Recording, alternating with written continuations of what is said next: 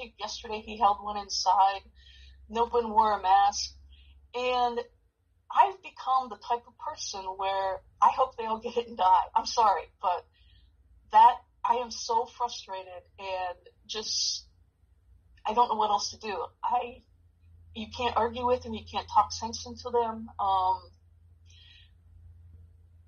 I, I said to somebody yesterday, I hope they all die before the election. Um, only that's the only saving hope I have right now. Um,